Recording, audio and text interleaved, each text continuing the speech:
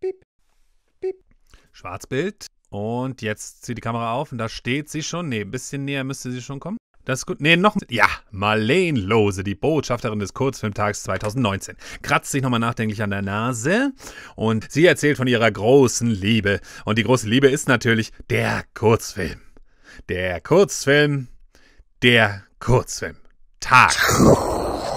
Und ich liebe am Kurzfilm, dass man nie weiß, was als nächstes passiert. Es ist immer wieder eine ganz große.